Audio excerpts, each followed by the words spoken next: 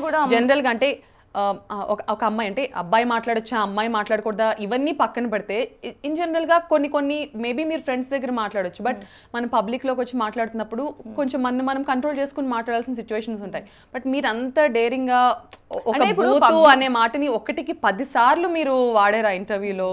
అంటే ఇప్పుడు మీ ఫ్యామిలీ ఏమనలేదా? అమ్మ ఏమనలేదా? డాడీ ఏమనలేదా? అమ్మ నీకు ఇదే నా చిన్నప్పటి నుంచి మేము నేర్పించింది. నువ్వు ఫైట్ చేయి కాదని మేము. బట్ నువ్వు వాడిన పదాలు ఏవైతే ఉన్నాయో అవి కరెక్ట్ కాదు. ఈవెన్ నాకు కూడా అది కరెక్ట్ కాదని అనిపిస్తుంది. ఎందుకు? దాచుకోవడం ఎందుకు?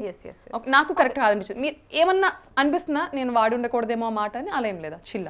సి బేసిక్గా ఏది తప్పు ఏది రాంగ్ అని మనం డిసైడ్ చేయలేము సో ఈ ప్రపంచంలో ఏంటంటే సభ్య సమాజం అని మీరు అన్నారు కదా అది టెలివిజన్. ఆ, అది ఏ యూ సర్టిఫికేట్ సినిమాలు సభ్య సమాజం. ఇంటర్నెట్ యూట్యూబ్ ఛానల్స్ అనేది అసభ్య సమాజం అనుకోండి ఏదైనా అనుకోండి. నేను ఆ టైటిల్ ఇవ్వట్లేదు బట్ అక్కడ మనకి ఏ సర్టిఫికేషన్ అవన్నీ ఏం లేవు.